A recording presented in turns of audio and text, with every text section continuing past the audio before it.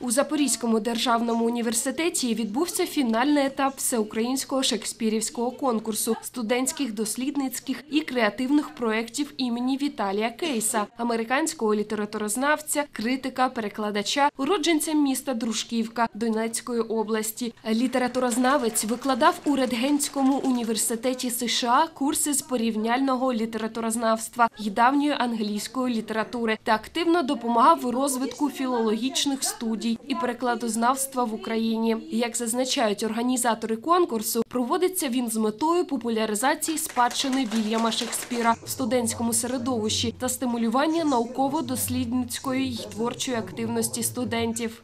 Український шекспірівський центр був створений саме в Запоріжжі. Як це не парадоксально, не в Києві, який має давні традиції шекспірознавства, не у Львові, де е, дуже багато фахівців, які займалися Шекспіром в минулому, і де був поставлений перший український Гамлет у 43-му році. Але український міжуніверситетський шекспірівський центр створювався саме тут. Свого часу, у 2009 році, в класичному приватному університеті. Е, Завдяки підтримці ректора Віктора Огаренка відбулася перша міжнародна шекспірознавча конференція в Україні. І з того часу майже е, кожні два роки у нас в Україні відбуваються шекспірівські конференції. Паралельно з ними відбувається захід, який об'єднує молодих шекспірознавців, або можна сказати, майбутніх шекспірознавців, оскільки це конкурс для студентів. Мені доводилося багато писати про Шекспірові переклади інших людей. Це надзвичайно цікаво. Особливо цікаво, коли е, ми говоримо про перші українські переклади Шекспіра, про ці геніально сміливі спроби Старицького, Куліша, які мали на меті е, не тільки е, власне донести Шекспіра до освіченої публіки, бо освічена публіка, власне, тоді е, в оригіналі могла читати, ну не кажучи вже про те, що в перекладі мовами імперії. Але їхня перекладацька програма, е, я маю на увазі от, е, Старицького, Куліша, їхніх сучасників, була скерована на те, щоб е, збагатити рідну мову.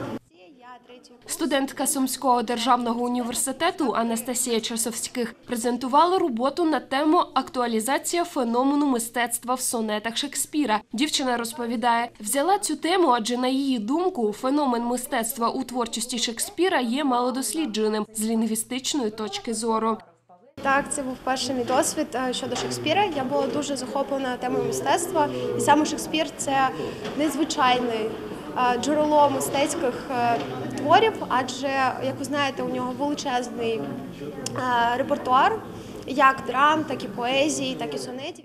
Е, Досить цікаво, адже можна зустріти дуже багато мистецьких реалій, які допомагають читачеві краще відчути текст, краще е, співпереживати головному героєві і зрозуміти всю красу його буденності, і зрозуміти, що прекрасне воно криється в кожному мазкові пензля, в кожному слові е, автора.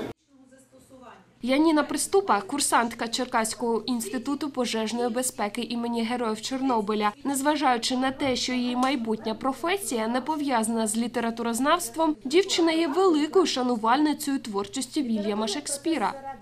Найбільше мені сподобався Гамлет, е, відповідно Ромео і Джульєта, е, Макбет. Макбет? Що в Макбеті, наприклад, тебе так вразило? Ну, найперше, мене е, я основна моя тематика вивчення це перекладацька його діяльність українськими письменниками. І перекладаючи його, дуже ем, відомі його переклади це е, Федьковича та е, Лесі Українки. Вони дуже гостро, емоційно підняли е, всі проблематики і тематики цього твору. Але е, використовуючи е, національний колорит, тобто вони максимально намагалися наблизити до е, реципієнта українського читача, щоб йому цей твір був зрозумілий.